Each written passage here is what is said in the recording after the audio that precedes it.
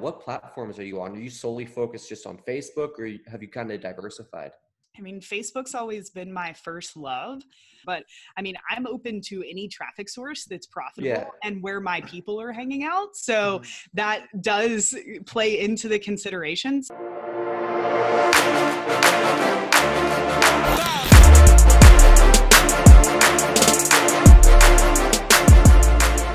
Seven Figure Entrepreneur Podcast, the number one podcast bringing you behind the scenes with real online earners, no fake gurus here. And today we have the wonderful Molly Pittman, CEO of Smart Marketer. Uh, yeah. Woo! So, anyone who doesn't know what Smart Marketer is, it's basically um, Ezra Firestone's like educational side, right? Educational mm-hmm. company. Yeah. Exactly. Yeah. Man, I feel like everyone's done something from Smart Marketer. I have. I know I have for sure. Tyler has. Definitely. Yeah. Definitely spent some money on Smart Marketer. Yeah. Yeah. It's been cranking stuff out for eight to 10 years over there. So I know sense. it was something that I followed when I was coming up in the game too. So. Yeah. Yeah, and yeah. it's it, the way the way you guys teach stuff is so good too. Like direct layouts, like completely like the. I think the email one was the one I remember the best, and how it would just mm. you would just like give like step by step by step if so and so does this, follow up with this, and then everything. I think we mentioned that in the last podcast episode too, didn't we? I feel like we mentioned it in a lot of podcasts. Just discounts so deadlines. I, th- I, think that was a Ezra Firestone special tagline. Yeah. yeah. Well, thank you guys for mentioning it. Yeah, that's a cool product, and they actually update it every month too. I don't know if you know that, but oh wow, you pay for it. You pay for it once, and then every month, Laura, who is you guys meet in the class, and she's actually setting up the emails and doing the work yeah, she's doing monthly updates with like what emails work best. And oh, that's super um, cool. So yeah, that I is awesome. Trying the, to keep people the gift updated, that keeps giving.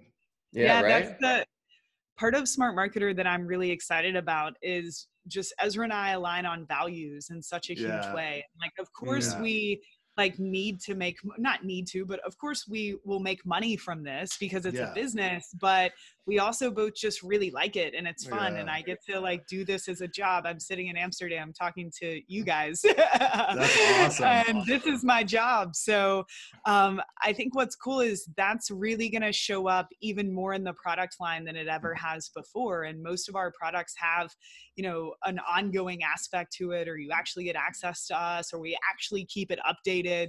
Um, just mm-hmm. trying to fill the gaps that you know we've both seen in the last 10 years or so in this online education space it's like mm-hmm. things are evolving and we want to set the bar so i'm cool. glad that's you uh, awesome. I'm glad you know what? there needs to be like more quality in the space because there's so much garbage yeah. it's nice to have something that's good and, and we've talked about this before like there's just a lot of people they put out stuff that doesn't work or maybe you know they'll put out an e-com product and the only thing they've done is sold disney products illegally yeah. yeah. And they're they're at, they're trying to teach people how to do ecom yeah. where it's like you know I know Boom by Cindy Joseph is probably like the product one of the products Ezra's most known for, which is a makeup brand he started, right? Yeah, yeah, yeah. Um, and Boom is still rocking and rolling. Right before COVID every hit, year. he was doing like a hundred grand a day. What? Um, wow. And yeah, we are spending like 30k a day on uh, paid ads so it's yeah. so fun but yeah i think that's the type of guy you want to learn from yeah, yeah but but it's also like i think it's you kind of need a mix of things and i was actually thought this earlier because i I, I tell people that I'm a teacher, I'm an educator, like that's what I mm-hmm. do. And that's true. Like that's one side of it. Like you mm-hmm. have to be able to have an experience or consume knowledge, distill it down and, you know, guide someone along a path and be their cheerleader, like actually care about them, not just yeah. be like, I recorded videos, go away. I don't care. You know, like we've evolved past that. Yeah. Like people, and, and I like to think we have. Well, especially that, that's my you guys, you guys yeah. have. That's right. my teaching model. But, but the other side is like you've got to do it first like i'm not just a teacher yeah. i'm like actually what i do is i like do cool shit in marketing and business yeah. And then i tell people about it because mostly and most importantly like i feel that i could quit running ads right now, quit doing marketing, and maybe for a year keep being able to teach just off of what I know. Yeah. But I wouldn't be excited about it because I get pumped yeah. about like the results, like what I'm doing. And then I transfer that excitement to my students. And it's like that excitement is most of what they're buying from us too. And so, totally. anyways. And, and it's cool to see what's working now, what's up to date. Like, I, yeah. you know, I think, um, I forget who, there's some, maybe it was Klaviyo, maybe it was something else, but there was some solution you guys had said somewhere you just tested. We tried it, we loved it. And so there's a lot of updates that are constantly happening. Whether like if you're not in the know, you're going to miss out on that. So yeah. it's super yeah. cool that you guys focus so much on keeping up to date. Thanks. Yeah, yeah, we're actually about to launch the Smart Marketer podcast. So oh, nice. yeah, I don't know if you guys are familiar with the podcast. Um, I did a podcast for five years called Perpetual Traffic, and it was all about Facebook ads. It was a podcast that I started at I was working at Digital Marketer, and so that show has oh, like I didn't know you worked at Digital downloads. Before.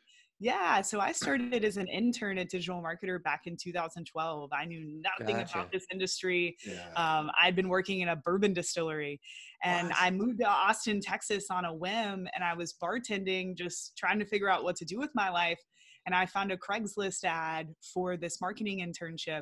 They were advertising on Craigslist? Yeah, well, I mean, this was like 2011, 2012. Yeah. Like, you know, uh, awesome.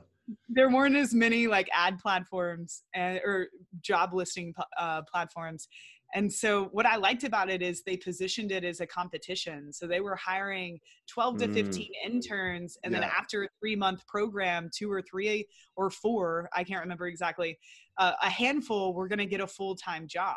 And I was like, ooh, this is cool. Like, worst case, I get paid for three months, I learn something, and I decide I don't like it. Like, that's yeah. the worst case scenario here. And from the first day, I was hooked. Like, the first day was, Ryan Deiss, the founder of Digital Marketer, basically just like explaining how his businesses worked. And like mm-hmm. from that day, I've just been sucked into this world. Like, um, you know, I've been completely interested in it and a sponge for it. So that's how that's it started. Awesome. That's mm. that's super cool. So what kind of um advertising were you mostly doing on Facebook back then? like what offers or like what or, were we doing? Well, was it was it for um was it force uh, the company itself, or what were you also also running just like stuff on the side, like uh, offers and or like affiliate yeah, or anything like yeah, that? Yeah. So what's cool about Digital Marketer and Ryan owns like 30 companies, mm-hmm. and so mm. the parent company is actually called Idea Incubator, and digital marketer is just a part of that portfolio mm-hmm. and so he has businesses in a ton of different markets e-commerce local businesses um, different media properties so i was the full-time media buyer for digital marketer mm-hmm. we are spending about 300 500000 dollars a month on nice. media you know, in a pretty small market, which was fun. But I did also get to play with these other businesses. Mm-hmm. So, nice. Um, and, and, that's what I, you know, that's honestly a, a reason I ended up moving on from digital marketers because I just wanted to work in more industries. I, I felt yeah. Kind of, I, I, was ready to do more. Mm-hmm. So, that's awesome. That's yeah. really cool. Thank you. Yeah, I didn't realize he had. I know he had a lot of stuff going on, even like the forex education market. I think too. But uh, yeah. uh, I didn't realize he much had much in uh, ecom at all. Yeah, definitely, especially from like 2013 to like 2017, mostly yeah. with um, Perry Belcher and Native Commerce. So the oh, company oh, gotcha. that he runs, yeah, yeah, they had a big fulfillment center in Austin called Planet Amazing. I don't know if it's still functioning, but um, yeah, definitely Ryan's in all types of businesses. Crazy. yeah, he's like building software now, and uh, you never know what that guy's gonna do. Yeah, no doubt. When um, when you were buying ads then, and even when you're buying ads now, what platforms are you on? Are you solely focused just on Facebook, or have you kind of diversified? I mean, Facebook's always been my first love um, I just feel it's the most interesting yeah. ad platform. It relates. In, in, in terms of um, just the amount of information that they have um, eh, you know on us as consumers and it's different yeah. types of information than other platforms have it mm. just makes it such a really good direct response cold customer acquisition tool. Like I, mm-hmm. I, still, I don't think there is a better place for scalability, especially um, even in compared uh, comparison to Google, right? Because the uh, the data in terms of how you're able to target the scalability on Facebook is just so much more. But I mean, I'm open to any traffic source that's profitable yeah. and where my people are hanging out. So mm-hmm. that does play into the consideration. So, I mean, for Smart Marketer, we're of course on Facebook, Google, YouTube. So those are really the big three. Like mm-hmm. every brand should have a presence, even if you're just using Facebook to drive cold traffic and YouTube and Google for retargeting, or yeah, you know, you totally. have a simple search campaign set up up. Like it, eh, most humans on planet Earth are using those three um, platforms and spending yeah. time there. So that makes sense. I do, of course, dabble on other platforms, like maybe dabble in Snapchat, or I've done mm. a little mm. bit with native advertising tools. And, you know, I can get success uh, kind of like a really small success and then yeah. it feels like a waste of time to like keep up with that platform because that's a hustle. Yeah. so yeah. yeah. i mean i just kind of always come back to facebook google youtube but like my expertise and where i spend my time is facebook and i just work with people that are good on the other platforms. Mm-hmm. makes sense. Makes sense. Yeah. That's cool. Facebook, yeah you, you've been through the evolution of facebook from like you've been doing it for a while. Did yeah. Were I mean, you on it before the pixel before? I I think so. So I started advertising in 2012. So I do mm-hmm. think it was before the Pixel. I think I think that was like the just the CPC days, you know? Yeah, and ads were so simple. It's mm-hmm. really funny. The first Facebook ad I ever set up was actually for an offer where Ezra had partnered with Digital Marketer. And it was this oh, magazine, and Ezra was on the cover. So I met mm-hmm. Ezra back in 2012. He was the first Facebook ad that, you know, I ever set up. and then now we're business partners, which is uh, yeah. A, you know, crazy, crazy how much things can change. Yeah. Yeah. And and I mean, in regards to Facebook, I think it's easy for people to dislike Facebook or shit on it as an ad platform. And there are issues with policy, and there are lots of things that are complete like a complete pain in the ass, right? Mm-hmm. Yeah. I have a job because I teach people like here are all the things that you should know about Facebook that Facebook's not telling you because they don't know. You know, yeah, yeah. Like, it's, it's, not so true it's not easy, but I do believe if you keep a positive attitude attitude towards it and you just keep moving forward, like it definitely pays off. And if you mm. stay in grumpy land, like that's not going to help you. So, grumpy. yeah, it's it's easy to do. yeah, no doubt. Especially with Facebook. Shut down on Mondays, so Ezra launched some ads on Sunday. He's been advertising on Facebook since like the day they launched the ad platform and the first time he's ever had an account shut down. And so wow. we got a message from him Monday. He was like concerned and I think, you know, kind of worried about it. And I'm like, buddy, we'll get it back up. But, yeah. Um, yeah. You guys you guys probably have like top game. tier reps and everything. Like you guys are good. Yeah. Well, actually for Smart Marketer we don't. For Boom we do and yeah. some of the other brands, but for Smart Marketer we don't. And so I'm actually for our students also as a, a just education. I'm recording my process going through like with chat and support oh, and nice. appeal. Like, here's how to handle it because, yeah. especially with everything going on with COVID, uh, Facebook's employees are working from home, which is obviously changing productivity and just changing totally. how things function. So they're relying much more on the automated side of mm-hmm. policy and other ad platforms are doing this too which causes a lot of mistakes you know yeah. because it's a bot making decisions. So it's so bad. I, yeah i mean i've heard i would say at least 20 other advertisers that said their ad account got shut down over the weekend. So i'm like it it would be okay not the only one frustrating. Yeah. I lost a bm this weekend uh, uh business manager oh, yeah. and i lost two other ad accounts in the last like seven days there you go. You're and I get and you and I get them back. I get the ad accounts back, but the business manager it's still like pending in review, and it's been probably about like four or five days now. Yeah, but I, I mean it's it's out. yeah, it's part of the game, you know, like yeah, exactly. Yeah, part of it. Oh, oh, Facebook, my first love and my first hate.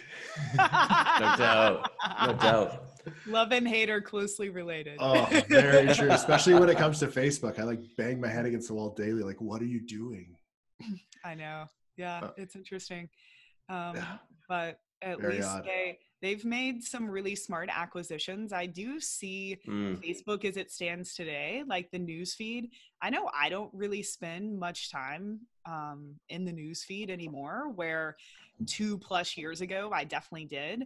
I mean, the only time I really go to the news feed is to get into Facebook groups where my students are, and I know I need to answer questions. Like it's business yeah. for me. Yeah. Um, it's I'm not like entertaining myself there, and so I feel like that's consumer Molly coming out, not marketer Molly. And um, yeah, I think that's what's interesting to understand. Like, that's probably going to happen, and that part of the platform will evolve. But that's why Facebook purchased Instagram, and that's why yeah. Facebook has WhatsApp, and that's why Facebook has Facebook Messenger, and that's why Facebook's doing everything that they're doing with virtual reality. And mm-hmm. like, just I think, and the audience network. Yeah. Yeah. I mean, just what is so cool about Facebook is their ability to see into the future. And now mm-hmm. they're not mm-hmm. only just seeing into the future, they're building the tools that are going to be the future. You know? Yeah, totally. So like they're in a league of their own now. But I think that's important for especially marketers or business owners watching. Like it's okay if things like that evolve. It doesn't mean that like Facebook advertising isn't going to work. Like it's actually good that that because that is when a platform goes obsolete right but they totally. are evolving so that that mm. doesn't happen um, yeah and you know it's it's not that people are going to quit signing into facebook i mean how many apps do you, are you signed in through facebook like yeah. this no, the world totally. would crumble tomorrow if that wasn't an option um, mm-hmm. so just a little rabbit hole i don't know why yeah. i went down that one but um, no but it makes sense it's a relevant yeah. point too like um, you know, Google obviously bought YouTube and has Google uh, Display Network, which, which is massive. I don't think people realize how big the uh, the audience network on Facebook could be. And like you said, WhatsApp is still early, Instagram is still crazy high, and even though Facebook may have dropped, um, it's not the end of it for sure. If anything, it just compounds all their targeting and their reach long term. Yeah. yeah. I think what really surprises me is how some of these new placements just like start working randomly on ads that aren't even meant for it because like most of the time yeah. and i'm a pretty lazy marketer um, for some stuff and i'll run automated or like auto placements and stuff and they'll I be auto. yeah auto just works right um, and now it's like Facebook's even starting to convert your images into videos so it can hit other placements. And you're just like, what are you doing? Crazy. But like, I'm angry you're doing this, but at the same time, like, holy shit, it's working. yeah. Yeah. I mean, that's a big struggle, I think, for marketers that have been doing this more than three or four years, I would say, yeah. currently in this environment, because we are used to having to sort of hack the system. Like, mm-hmm. how do I set up this super complicated campaign with all yeah. the gender split out in countries? And oh my God, yeah. how am I even? I've got carpal tunnel from like clicking yeah. so much, you know? But that's what forcing bid amounts, like everything. Yeah, like total pain. But that's what you had to do because the system was stupid. Like you had yeah. to tell everything. Well, think of it. I mean, it is machine learning. Mm-hmm. Facebook mm-hmm. and Google employ 70% of the humans that work in machine learning that are like developing wow. those systems yeah. facebook and google that are ad platforms like yeah totally that is insane and the reason for that is they want it to get smarter and it does every single data point that that system collects it then informs it and it makes it smarter and so us as advertisers need to understand that and embrace it because it goes against like mm-hmm. you said you're lazy but I recommend to all my students almost always use auto placement yeah, because totally. let Facebook do the work even if you could get a lower CPA in this like little area, you're still going to screw yourself on volume of results. Like just let them do it. Mm-hmm, and yeah. so I think that's a big shift for a lot of media buyers. And I know one that I've had to really make and that I try to to help others with. yeah, for no sure. Doubt. If um, anything, too, I think a lot of skill from media buyers won't come so much from like the targeting and the analyzing necessarily the data, but more of the creative and the approach as a whole. Yeah. And I'm also finding that Facebook is just so all about new content and you can burn out your content super fast at, at scale. So if you if you're good at creating ads like Tyler said, uh, creatives and ads and landing pages, whatever it may be, you're you're in the clear because Facebook's like, sure, new shit. We love it. We'll give you the best traffic yeah. possible. I mean, that's the hustle here, right? Like yeah. that is the game of a media buyer is sort of the constant production of these assets. Like mm-hmm. I feel like media buyers, we just go through this cycle where it's like, okay, we're gonna build something new, we're gonna launch it, we're gonna troubleshoot it, scale it while we're maintaining this other stuff. All right, mm-hmm. we're gonna keep going through yeah, this process. Yeah and yeah. that's what's fun and i love that you brought that up because i think that's a huge benefit for this it's like spending way less time button clicking like i'm the most hands-off media buyer i can be because i want to spend all my time on the mm. stuff that really matters and for totally. me like it will still be targeting like i think that that's still a huge missed opportunity for people right now in terms of like the, the machine is getting smarter so targeting broad works of mm-hmm. course it works but a lot of folks are missing out on scale because they're not doing that interest research and going after all of those interests that their mm-hmm. competition never thought to target mm-hmm. so therefore is very cheap and might be a part of the market that they wouldn't have reached otherwise and like with with boom for example this is this is um just kind of showing this um, you know, spending about twenty, twenty-five thousand dollars a day on Facebook. Obviously, most of that is cold acquisition. Mm-hmm. And before, like the last few years, Boom has mainly relied on lookalike audiences and then an ad set or two that is just broad open targeting because mm-hmm. they're trying to reach women over the age of 50 they've got a shit ton of of pixel yeah. data like this is going to work the best and it did mm-hmm. but when we started doing that and then I spent like probably eight to 10 hours down a rabbit hole finding interests of like, where would my mom be hanging out on Facebook? Mm-hmm. Or like, where would this audience be hanging out on Facebook? So then we added that into the mix and they had their best Facebook campaign ever. I think the spend was like 1.5 million and the return was 2.5 million wow, over the course of about yeah, over the course of about two months, we generated 30,000 new customers. This was going to a pre sale article 50 makeup tips for women over the age of 50, but we were still optimizing for purchase. Like, this was very much a direct response play. And yeah. of course, those broad audiences and lookalikes, like they did the best. Mm-hmm. but there were thousands of customers that we wouldn't have acquired if we didn't use those other targeting options. And like women over the age of 50, it was like actresses that they would have known from back in the day, interests like old time music, different, Smart. you know, clothing boutiques that they would shop at, like Chico's. I just called my mom and interviewed her and just asked her about like books.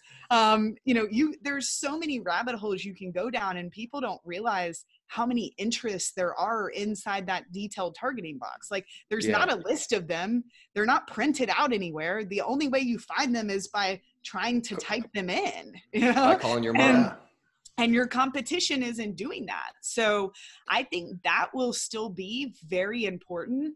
Um, and it always will be important on Facebook until they change, if they ever change how that works. I don't mm. think they will because that's so important. But, anyways, um, I, I, think, but yes, of course, always copy, creative. Like, that's yeah. a huge name of the game. Like, you know who you're speaking to. Like, also are you using multiple hooks i mean that's when people mm. really have trouble with scale is they're relying on like the same method over and over just here now i have emojis and now i reworded it and it's like yeah no, now i have a different like, image a completely different angle like don't yeah. just change the color like do you actually have to think yeah absolutely what you just described there me but like I've spent like 80k a day on Facebook, so whatever, it worked. Hey, you probably had a really good offer. yeah, no doubt. Yeah. How often do you find on in the ecom world you have to kind of uh, change up your angle per year? Like say on, you know, because we're talking about Boom specifically. Like, do you find a like twice a year you guys have to come out with something new, or does something yeah. get a pretty good run life? yeah around around that like for example with boom the overall hook is always you know we are pro age we celebrate aging we're not going to mm. tell you anti wrinkled this that mm-hmm. all the other people like it's a very us versus them like mm-hmm. good yeah, versus yeah. evil hook Smart. and and it's genuine and it's true so first off that in itself like if i had to pick one reason it's successful that is the reason mm-hmm. but um so the five makeup tips pre-sale article we've never been a we we haven't found a pre-sale article that works better than that so still most like 95% of cold traffic is going to that pre-sale article mm-hmm. but we do change up the hooks from an ad standpoint um, definitely twice a year. So, right now, what's working really well, and you guys could check these out in the Facebook ad library. Anybody listening, just type in Boom by Cindy Joseph is the Facebook page. I'm sure there's they, they will be running for a while because mm-hmm. they're working really well.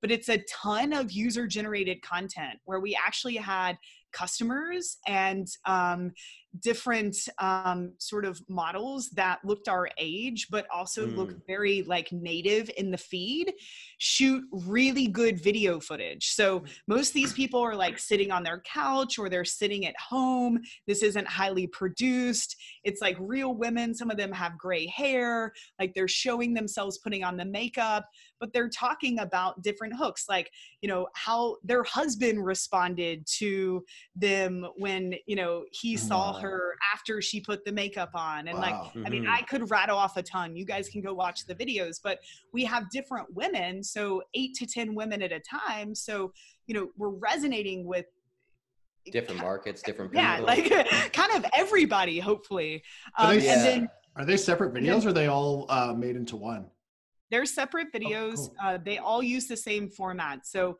what we're changing is the front. So the front gets swapped out um, for mm. a different um, a different woman, and then the middle and the end are the same. And you guys can go watch those and see. That's Some of them are cool. six minutes long. Um, wow! Um, but I think the middle and the end are pretty important to to build some authority, mm-hmm. credibility, position the product. But mm-hmm. yeah, that user generated content, especially for ecom, where like ecom has it so easy. Uh, you guys just demonstrate the product with some good marketing and people are interested like with mm. info and anything else there's so much buildup yeah so totally especially with ecom yeah user generated content is creates awesome creatives lots of creating there uh, bottom and top of funnel yeah you guys have pitched that for a while because i remember you had um, the the testimonial funnel that you guys would offer to people for email after uh, someone would buy, and that worked great. We used it on our ecom store. It's really yeah. solid. Yeah. Do you guys want to dive into that? And explain that what that is so people can use it. I'll let uh, Molly do it because she can probably do it 10 times better than I can. yeah, what's cool, we actually in a few weeks have a product coming out called Ambassador Blueprint. Yeah. And because this has evolved from this testimonial funnel where essentially after someone buys i don't know how um, how many days after i think like a week mm-hmm. they're sent an email where they are offered a gift card in exchange for a testimonial and there are instructions mm. there so it's a great way to get testimonials but what we're doing to get this uh, user generated content mostly is through an ambassador program where the customer support team and the social media team are reaching out to influencers, for example, who will like promote your product to their audience. We don't care about them getting us traffic. We just want their content. So we yeah. give them free product in exchange for their video, which still looks very native, but is more polished than something a customer would send you because they're gotcha. an influencer and they yeah. kind of know how to do that right mm-hmm. yeah yeah they so, get it um yeah yeah i wasn't responsible for building this out so i don't know a ton of the details but essentially we're using this ambassador program with influencers and through customer service if we can tell there is a satisfied customer the reps know to you know offer free product or you know um, uh, some sort of coupon in exchange for this content but that's what has been so powerful in in terms of generating these creatives. Like they're much more than testimonials. They're mm-hmm. like testimonials on steroids you know? It's like a testimonial but that person is like selling your product for you um, yeah totally. if that makes sense. Yeah. That's awesome. native or real like you call it native i just call it like real people i guess. It's it's always works so much better. I find if you try to do anything over professionally on Facebook, it never yeah. really works out at all. Yeah. I mean, the reason is it, it's common sense. We are used, like consumers are used to seeing real people in their mm-hmm. feed. They like their sisters' posts. They share especially their especially on social media. Yeah, yeah, you're on social media. So if you show up looking like an ad, I mean, yeah, there are some polished ads that can work well. But if you show up looking like an ad, you look like an ad. Yeah. People don't like ads. Yeah. You show up and you fit in and you relate to their life. That's why, again, I think targeting is so important. Like knowing, I love to really know my avatars. Say, hey, moms, this is why this product is for you.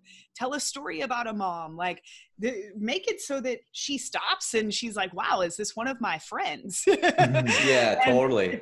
That experience. If you can do that, that would be amazing.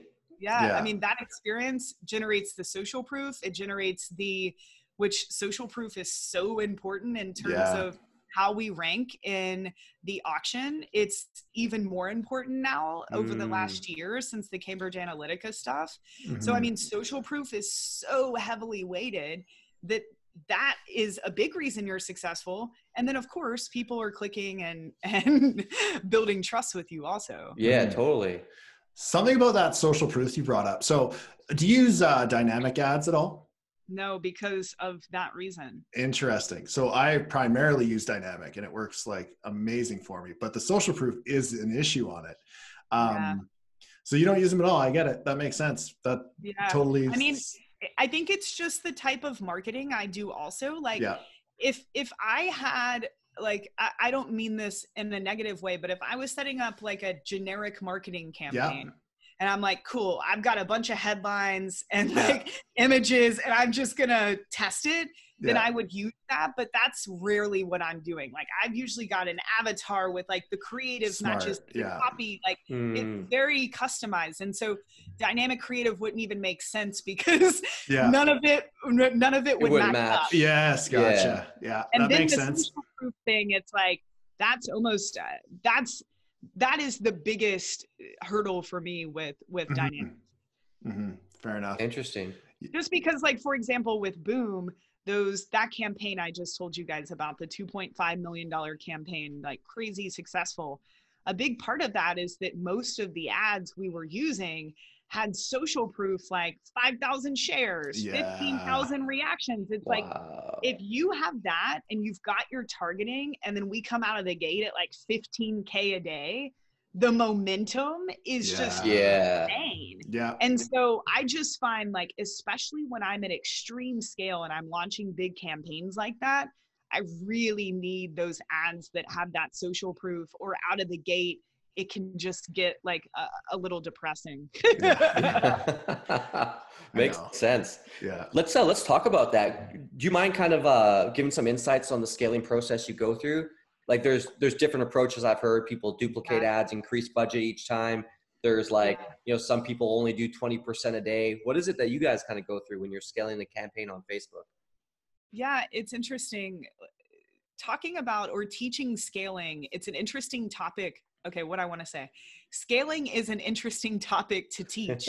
and the reason for that is that scaling has everything to do with what just occurred in the campaign. Like the one thing that all campaigns that are being scaled have in common is that it's working, which is positive. Yeah. Like, yes, yeah. that rarely happens. Making money. So something is working. We have proof of concept enough to do more with it, um, which we don't celebrate that enough. Like most people are like, Molly, how do I scale, scale, scale, scale, scale? And I'm like, hey, I guarantee 90% of people have never even uh, generated a, you know, or had proof of concept, right? Yeah, um, so scaling for me is like a very reactive thing. Every campaign is very different. Like it's hard to give you a blueprint of what I do because it changes every time. Like, what mm. is this a promotion? Is this an evergreen campaign? Is this e-commerce? Is this information? Because lead gen is very, very different from, you know, direct to consumer optimizing for a purchase right out of the gate.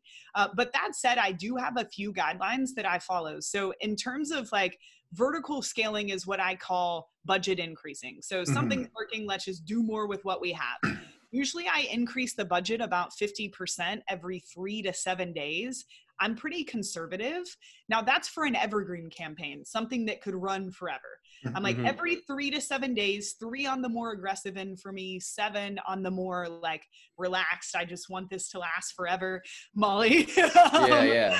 That's kind of my sweet spot. Now, if we're in the middle of a promotion and I'm running leads for a webinar that's in three days or it's a flash sale, then you know, I might double or triple. Like I'll go mm. hog wild. Who knows? Mm. But if I want like that three to seven day, about 50% every three to seven days is what I found to be like, if you think about Facebook as like, uh, I don't know, this animal that you're feeding. This is a terrible analogy, but like and you like don't want to like though. yeah you don't want to like overfeed facebook but you don't want to underfeed facebook because if you do either of those you know your cpa goes up like your return on ad spend gets all wild. Yeah, yeah. you guys know that. It's why I've, eh, that's why increasing the budget is always scary. Yeah. so like that is sort of the sweet spot of like facebook's fed. This is steady. Like let's you know uh kind of take it slow. But of course that's not always the case. Um, but for me when something's working and I'm ready for scaling, like increasing the budget's easy. And that's pretty much what I do. I don't do a lot of going in and turning off genders that aren't working and like making the uh, age groups smaller and like throwing in other stuff. Like any, like I said earlier, any tweak, and you guys know this any tweak you make to the campaign you have the opportunity that you just blew that whole thing away. Yeah, like, yeah totally. you made that change and the whole thing could just you know fall Disappear. to the ground. And so i i just try to let facebook let its do let facebook do its thing. Um, and most of my focus in that time is on what i call horizontal scaling. So this thing worked. People want this offer it's for a price that i can pay now, how can I get it in front of more people? So yeah. I'm going back to my list of interests. I'm creating new campaigns with new ad sets with all those other interests that I found during my research using the same post IDs as the ads that were in my test campaign. And I'm mm. creating as many of those social proof, as I can. Yeah, mm-hmm. so I've got the yeah. social proof, and now I'm just saying, okay, Facebook, now go over here, right? The people mm-hmm. are over yeah. here, they're over mm-hmm. here and also launching a campaign with just broad targeting and just lookalikes. So, and uh, new campaigns because we're in CBO now. Like before, yeah. that would have been creating new ad sets, of course. But um, so you know, I'm I'm trying to scale in that way first. Like I've mm-hmm. got ads that work. I just want to put them in front of more people. That's no more work for me really than just building totally. new campaigns. Like let's do that. Mm-hmm.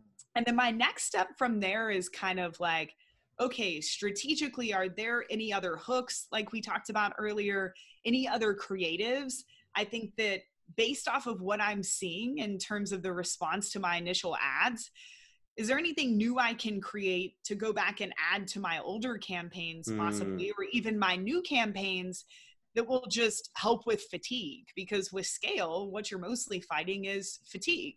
Totally. So then I'm kind of going into that new asset creation mode than we ta- that we talked about and then I kind of go a full step bigger and I'm like, okay, you know, are there like completely different avatars I could go after? Like I worked for uh, Panda or I ran ads for Panda Planner um, last year and they sell planners and they're really cool planners, but there's nothing other than they're like scientifically proven to make you happier, which is cool. Really? Um, yeah, but there's not like a true hook there, right? Yeah. yeah. Like it's not like I can go out and target people that like notebooks on Facebook and like this is gonna be a hit. Like mm-hmm. that, yeah. it doesn't work like that.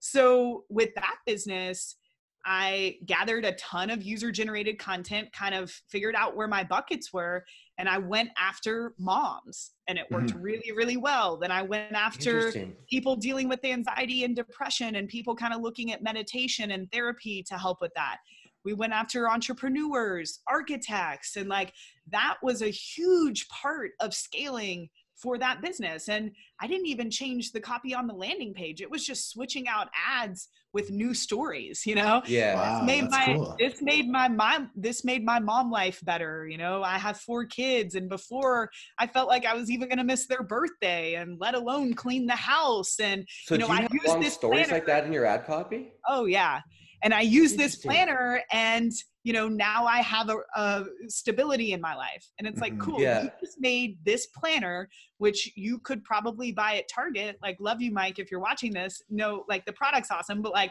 they could get this item anywhere yeah. but I'm just showing up and telling their story. That's it. And then for those, I was using a carousel of images of that person. So that's why like dynamic creative wouldn't work for me Yeah. in a lot of these scenarios because it's different. So anyways, I'm going to a higher level and saying, okay, are there other avatars this is applicable to? Um, is are there other offers even like maybe it's a lead magnet that's working really well like can i create another one that the market would like that's like different but slightly s- similar uh, Mhm. another product even so another rabbit hole but those are molly's like levels No, of I love it. scale I love it. yeah and, and honestly too i think it comes back down to like a foundational standpoint that a lot of people may be you know overlooking is like who is your customer avatar at the end of the day and like maybe there's more than just three maybe there's 15 or 20 to go after Mhm. Yeah. And, you know, in marketing, before we were able to do the laser, almost creepy targeting we're able to do on these platforms today, like avatars were kind of a joke. It's like, I Yeah. serve women and her name's Sally and she's 44 and she has two kids and she makes over a hundred thousand, a bunch of demographic information. And when Yeah. people come to me with that now, I'm like, are you kidding me? Number one, none of that really matters. That's not not all of your people are that way like let's go deeper because we're able to target people on a deeper level. So like yeah. when i'm targeting marketers i know what tools you guys use. I know what books you're you're reading what podcasts the authority figures that you're following. Like that's the type of Mhm. stuff we Mm. should be thinking about with our people. What are they typing into google? What are they typing into youtube? What blogs forums? I mean i think that that's my strongest skill as a marketer like i'm weak in a lot of areas but that connection to humans and just curiosity about humans like how do our Mhm. minds work what it, you know diving into an avatar when i start working with a new avatar i'll get lost for hours in google searches and amazon reviews just trying to learn about that person and that is what will set you apart um, especially Totally. on a social platform so yeah no doubt that especially that a was your social takeaway. I love that that was your takeaway because for me, I get really frustrated um, in sort of the marketing circle, circle, circle. Sorry, it's getting late, guys. Around paid traffic, because everybody wants to talk about scaling or hacking or like duplicating and then squeeze it and then do this and then move it over here and then blah blah blah. I'm like, guys, yeah, that's cool and it might work for a few months, but use that brain power to develop assets and knowledge that you could apply to any platform um, at any moment um, so yeah that's that's fun yeah no doubt That's super fun. That's cool. Damn. nerd Um, out. pardon? we're nerding out Oh, I know. no It's, i was gonna say it's great because like I I eat this shit all day. Like I love it. Love it. I love it. I know Tyler does too. I can sit him, see him sitting there just thinking about i have all like the different. three ideas right now that i'm trying to not forget that's the biggest problem is like remembering them all write them. I- I- write them down. Nobody cares. This is not a Yeah, professional right? show. write it down write it down. It, it is interesting too. Like um, one thing that we've done more of is uh, looked at like an audience of like what could be applicable to that audience, and then acquiring that lead, and then seeing the different ways we can monetize that lead. smart That's been a different approach that we've done as opposed to just trying to sell the lead off. Is seeing how much value we can add to that lead from different points, all based on that. But we've never Yeah. gone down to the actual person. And I actually recently hired um, a Facebook agency for one of uh, my campaigns. And uh, the first thing they did was like, they asked me probably like 80 questions on customer avatar. awesome And it was such a fucking pain in the ass. But at the end of the day, I'm like, wow, I didn't realize I had at least four demographics here that I was going after. And we've already Yes. done like, you know, seven figures on this audience. So it wasn't like we knew nothing. yeah We generated revenue, it's profitable. But the, the level of depth we could go was so much further. And uh, we actually just lit up the campaign yesterday and our cost per acquisition dropped. And so it was pretty awesome. cool to see the results from it. Yeah and that's just the beginning and i think for most totally. of us like with smart marketer it's easy for me because i am the avatar like i am mm. the marketing nerd that we're talking yeah. to but especially in businesses where like i'm not a mom that was a whole rabbit hole i needed to go down or if yeah. you are not that person or especially if you don't know that person like for boom it's a little easier because i can just imagine my mom or call my mom yeah. but that is is really important you and your mom must have quite the relationship. She never knows what you're gonna say. so true. Um, she she loves it though. She's like, I watched your Facebook Live. I don't know what you're talking about, but I'm proud of you. yeah, that's awesome. that's great. That's it is very interesting to like really get related oh. with your customer avatar, like to have the live one. Did I die? Yeah, a little bit. It's okay. Oh, I was just saying it's it's really interesting to get that one-on-one relationship. There's a um, there's a healthcare company locally in town. They've been asking for some advice and stuff. And so the other day it was stupid because everything's closed, but I drove outside one of their competitors and I just sat in the parking lot. I don't even think I told you about this yet, Gabe. You're so um, and just I want to see, oh, yeah, literally, but I want to who see who in walked there? in. Yeah, who's walking in and out of those doors because that's the people yeah. ultimately I need to connect with. Absolutely. I mean, people again, I think there are a lot of folks who think that success with Facebook means being very like good in the platform, right? Like that's yeah. what's going to give me a lot of success.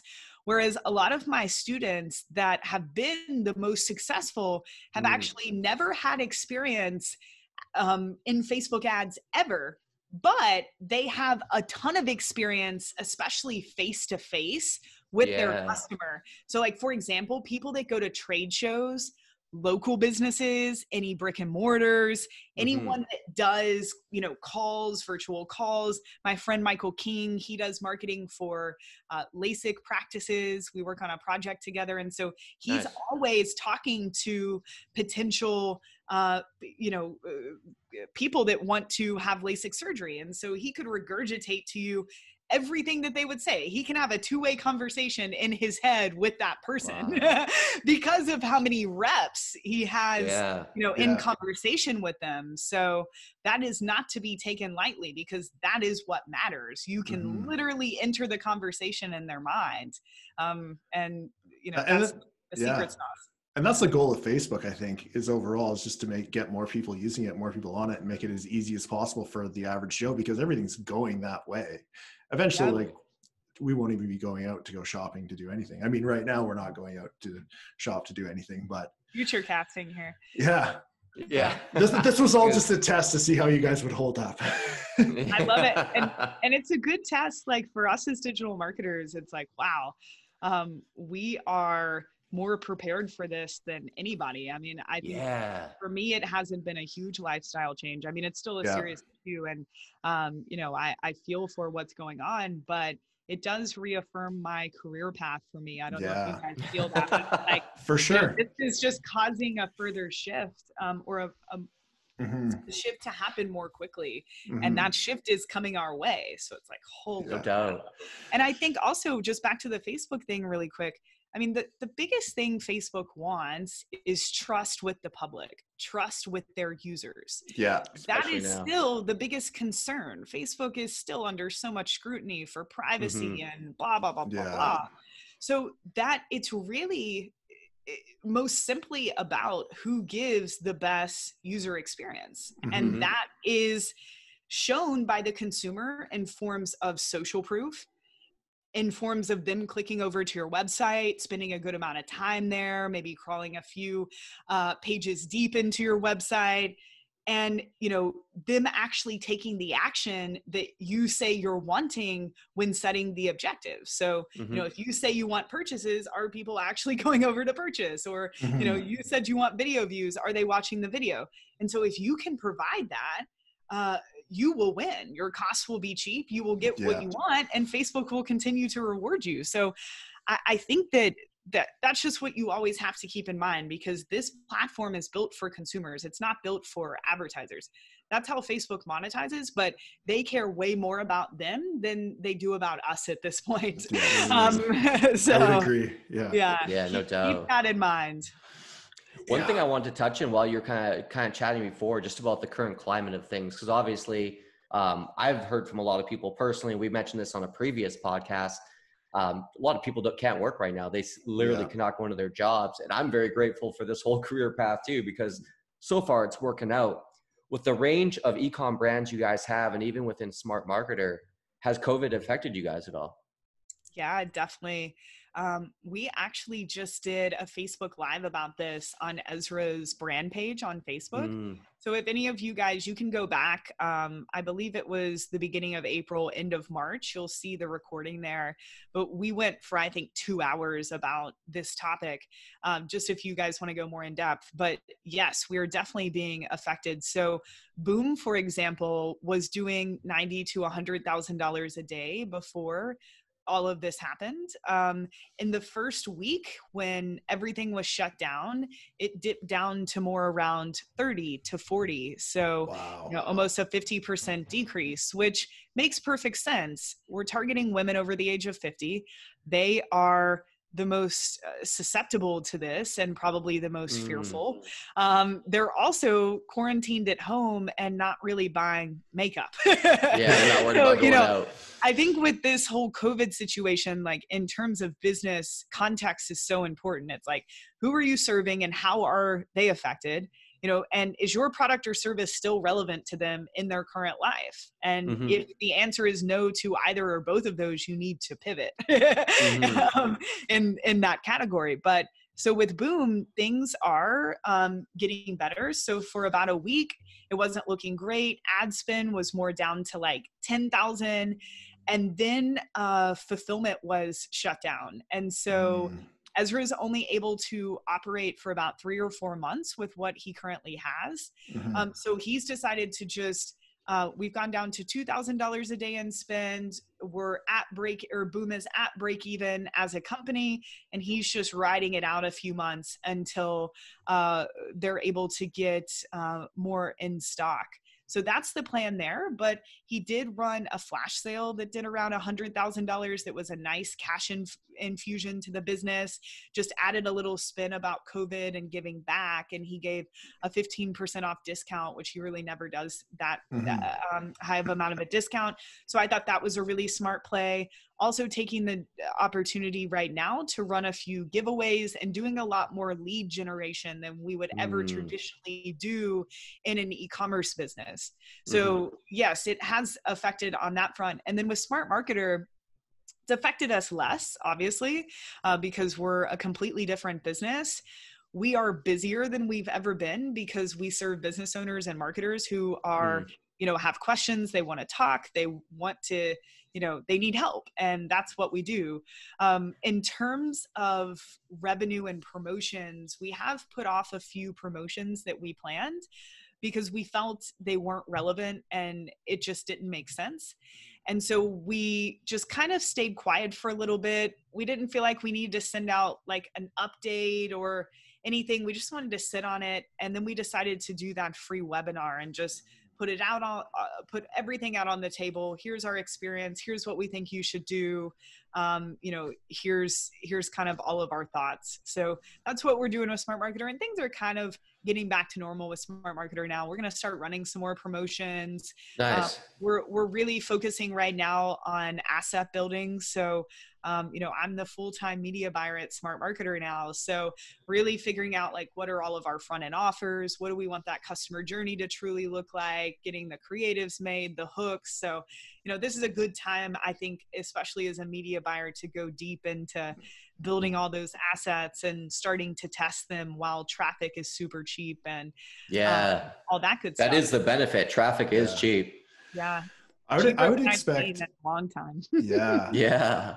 I'd yeah. expect people to start buying more online courses so they can find other streams of revenue. But yeah, I mean, yeah, absolutely. I think it depends on how you position it. So most of our audience are existing business owners who I think, you know, most of us right now are um, being more conservative with money. I mean, even mm-hmm. on the webinar yeah. that we did, Ezra's like, don't pay your bills, like conserve as much cash as possible. Like mm-hmm. that's how you keep your your business afloat right now within reason. Yeah. And yeah. call Amex, they'll put your bill off eight weeks. Like do anything you can do to conserve as much cash cash as possible because the future is unknown.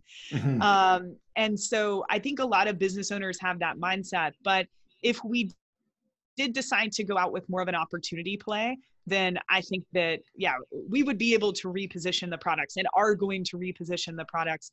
I've got a book coming out in a few weeks that's uh, about how to get into digital marketing. So it's more oh, for nice. people that are outside of the industry. Here's how to figure out if you want to start your own business or just you know become an intern like me like, mm-hmm. yeah. there's so many routes into um, this awesome industry. And so we're definitely going to start speaking to more audiences like that. And I think it's very timely. That is cool. Is this uh, this book will be digital or like a hardcover? It's a hardcover. Yeah, it's called Click Happy, and um, yeah, we've been working on it for a while, and it will release sometime in May. So I like the you title. Guys are watching the recording, Molly Pittman. Nice. Slash book. Yeah. Yes. And I, I'm reflecting a lot of the balance too of um, in this book, I'm talking about our industry, but also just how important life outside of it is and mm. struggles that I've had, you know, in those those areas, um, just to help other people. So that's where the happy very cool comes from. That's super cool. I like it. Yeah, man, we've been going to this for an hour now. Time flies when you're listening to Molly. No doubt. this has been fun, guys. Yeah, yeah. I likewise. feel like I've been I feel like I've been rambling, but I guess that's what happens when you're on a podcast. It's I love it. Like, rambling. It's, it's great. I think there's a lot of really good foundational stuff that you brought up that we don't always get the chance to do. So I'm really mm-hmm. glad you did. Uh, just so people know, like Gabe and I have bought smarter smart marketer courses before. Yeah. So if you guys are interested in checking out good courses, they have they have actually excellent stuff. Yeah. I think we've got the ads one and the email one. Yeah, um, I and I think I had one before good. that, but it was so long ago I don't even remember what it was. well, yeah. we're we're pumping out the hits, so yeah, and even the old stuff is still applicable. Like I feel yeah. like there's a lot of good stuff in all of it. So, and do you guys, yeah. um, you guys have a free podcast too, also, and you said you were starting another one. So we're starting another one. We don't currently. So the perpetual traffic, the podcast that um, I recently uh, am not the co-host of. Yeah that has run the last five years. There's 250 episodes on wow. there. If you are wow. interested in paid traffic at all, like definitely go there. Uh, that we've been doing that every week for five years, which is crazy. But I decided to. That's owned by Digital Marketer, and I mm-hmm. really want to build a podcast with smart marketers. So that's what we're planning right now. I've got all the post-it notes out here, so nice. you guys should it. expect that soon. But yeah, we've got that coming. Ambassador Blueprint, which it's like 15 videos explaining how we built out a whole ambassador program to get the great ad creatives and all of that. Um, we do have a new email marketing course we're going to be promoting. My book's coming out. Um, I'm going to be on the Smart Marketer blog a lot more at smartmarketer.com. So, yeah, we're just putting it out wherever we can. yeah, no doubt. Other That's than awesome. public speaking right now. Yeah. That's the weirdest part of this. But Good. no, fun. Good reading and watching during quarantine. You guys got all. Yeah, no exactly. doubt. Yeah, exactly. That's perfect. Well, and, and YouTube, like any uh, Ezra is so amazing. So mm-hmm. Facebook, Instagram, YouTube. His Instagram TV is really great. He's putting a video up every few days. had that and like covering last week it was about money and like really how to handle money in a business and in your personal life he just talked about how to build a personality brand, COVID and stuff. And so much, obviously, all that stuff is free too. Yeah, that's just on yeah. Instagram TV. So if you at Ezra Firestone on Instagram and um, check that out, and I'm at Molly Pittman Digital. So if you guys, that's definitely where we're both the most active is on Instagram. So IG. I dig it. Yeah. I like it. I like it a lot. Well, I'm sorry. I'll just like grab my phone to like follow you. I'll, I'll like, don't forget. yeah, right. Literally. Yeah. I, yeah. I have a terrible memory. I'll forget in like two minutes. I get it. I get it. Yeah.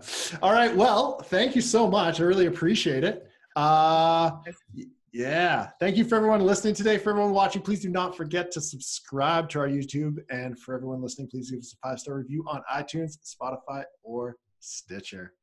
Thank you so much. Really appreciate your time. I know it's late there. Have a good one. Thanks, Thank guys. you.